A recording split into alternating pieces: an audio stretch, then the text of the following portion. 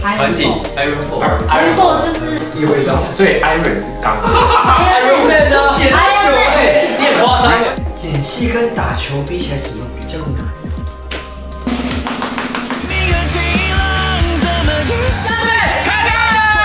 其实跟男生相处是比较自在的，就是心里头是刚的，不管是价值观的正义啊，或者是你觉得对的事情，但是我觉得表达出来可以用柔的方式。因为就像古人说他三分人嘛，我是六二人，人类我好像是二分之一的。你是二分之一，二分之一强，二分之一。一个好的领导者，请听，我觉得请听和要选举都别人说，都给别人说。我觉得请听很重要，你要知道把对的人放在对的位置。他们说三国其实刘备可能不是什么很厉害的人，但是他能够找到诸葛亮，他能够找到关羽，他能够找到张飞、马超、赵云，愿意帮他做这件事情。所以我不觉得一定要做一个很厉害的人，但我很认同学会跟大家一起完成一件事情，这个比自己完成一件事情来的可贵许多。的那个公司外面全部都是我们四个的照片，完全没有什么他的作品集啊，全部都是四个人的大大小小的明星偶像的百分之九十的是我们四个的照片，人才是这种非常自恋，我们卖的是人，非常自恋。我们卖的是人，不是作品。胸肌还蛮大，怎么藏起来？怎么藏的很纤瘦，然后很线条，束胸，是不是？他拍戏里面都穿束胸，真的哦。假的啦，你不要讲啦，到时候人家一直看，说束胸在哪，那个形状长怎样？没有前期啊，健身因为是我自己本身私底下的兴趣，所以我在一直保持。那我刚开始进剧组的时候，前四期的时候有被说过，就是可能太壮了，然后因为我在戏里角色都是穿衬衫，是是那手臂实在有点粗，对，然后就被制作单位跟导演说，请我要减重，那我也花了一段时间去做饮食控制，然后有才有慢慢瘦下来。所以，呃，我们拍到后面是我自己认为最适合剩余这个身材的人，就所以前期型出我有吗？你没有感觉到我身材不联系？呃，还好啦。不会，其实拖的拖的是一不多一起拍的啦，所以就还好。对。读书会就对了。对对对，有点像是那时候还有去就参观他的工作室啊，对然后在宜兰晃了一下。在戏里头，我们有实地的，呃，让田中央的一些建筑物成为我们戏里的 background 这样。对对就金山是我们设计事务所的主场景，嗯但是我们有一些，比如像是学校啊，都是声源老师的设计品。因为我们其实大家都不是学室内设计相关的，接触田中央是希望能够从建筑师或者是心理层面去理解建筑跟人之间的关系。嗯，住在金山还蛮长的一段时间，因为是一起住嘛，是两个人两个人一间房，有想过要交换一下班底啊。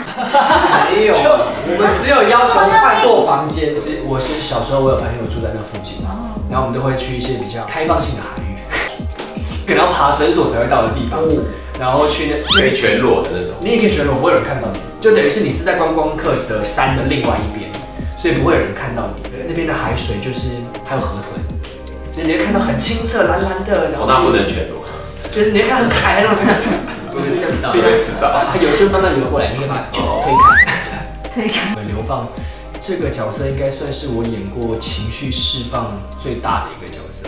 可能我的外表就是给别人，多半这种角色会被我吸过来，这样他有这个强迫症。我有看了怪胎》，以及另外一部里奥纳多演的《神鬼玩家》。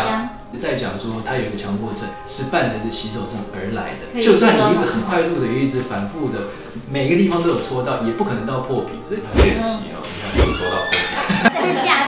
有点幽默，有点喜有轻喜剧的这种感觉。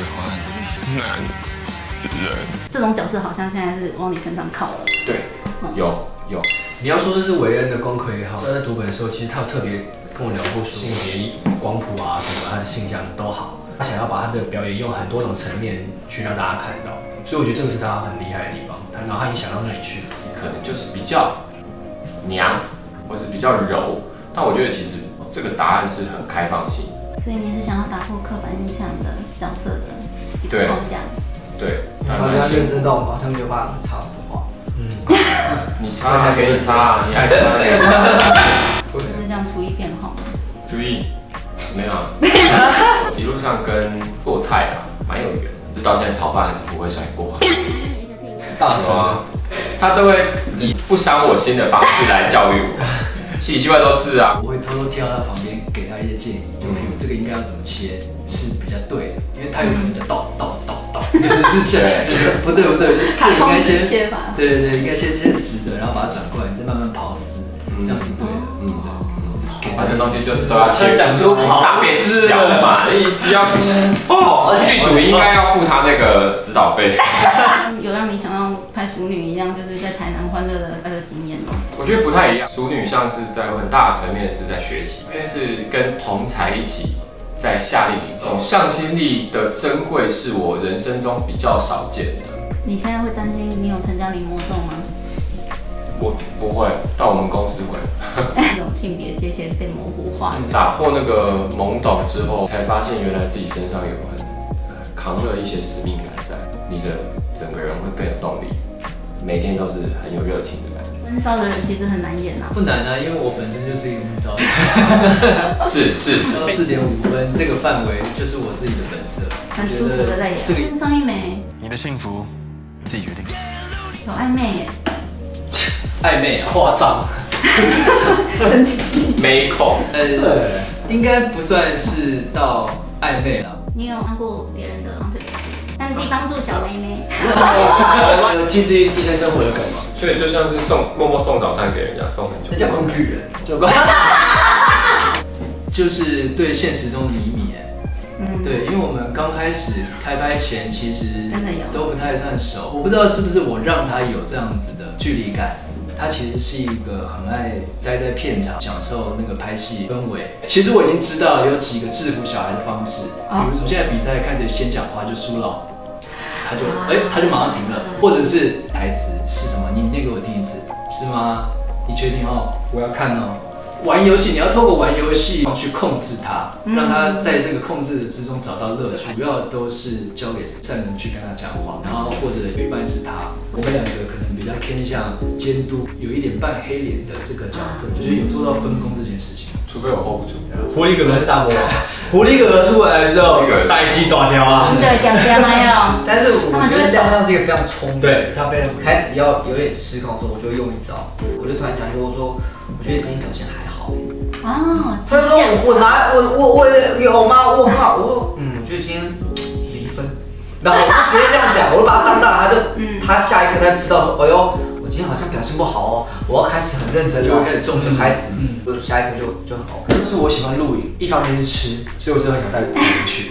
就是你吃弄好之后，我就可以回家了。没有，剩下剩下最幸福、最重要的事情，就是我和跟我来的伙伴，跟我和星星跟草地的事情了。那个是很，你不一定会对每个人说，但但是露营或者在野外的时候，你很容易敞开心胸。演戏跟打球比起来，什么比较难呢？我觉得演戏比较难，打球它比较容易看得到你的上限。演戏比较不一样的是，演戏它没有一个最终的结果，经历都是不断的累积嘛，它很难。可是你会一直不断的进步，表演比较有机，更有挑战性。方式。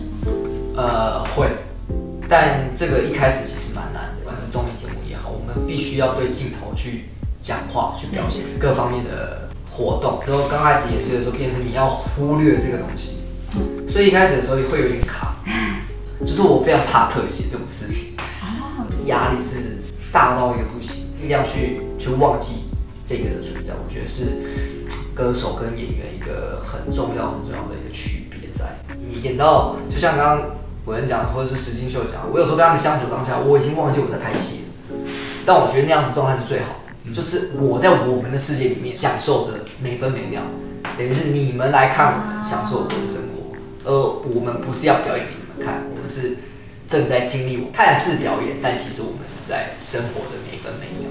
所以康斯 B 对你来说是纪录片。有一呃生活记录，纪录片类似个的生活生活记录，一部戏，对啊。十六岁的时候。你现在还有跟苏伟导演？有有有，我们都还有一个群，还在讲说过十年后要再去拍。江峰的二这样酷。对，我以前刚开始从歌手转来演员的时候，我会希望大家就是有一个镜头感，我希望是好看或者怎么样。但我后来其实我真的觉得还好，我会喜欢人家讨论表演的东西。养狗之后，我变得比较有耐心一点。呃责任感会比较温暖一点。他变成头上有一个天使，这个温暖的溢出来了，溢出来了，谢谢，谢谢